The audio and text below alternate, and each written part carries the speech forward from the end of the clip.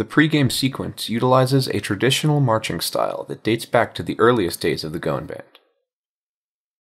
Boom, boom, boom, press kick. One, and two, and three, and four, and five, and six, and lock. Two, three, and kick. One, two, three, four, five, six, seven. Place and close. High mark times 7 is the first move in the pregame sequence. Boom, boom, boom, press kick. 1, and 2, and 3, and 4, and 5, and 6, and. Throughout pregame, heels and toes are together. This is what we call a tabletop. In a correctly formed tabletop, two 90 degree angles are created and the toe is pointed towards the ground. Lock 2, 3, and kick is the transitional sequence directly following high mark time 7. 5 and 6 and lock 2, 3, and kick.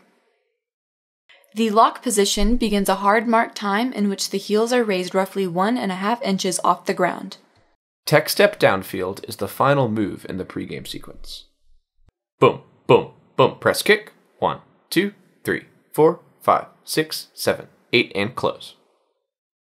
Our first step reaches a full 90 degree tabletop.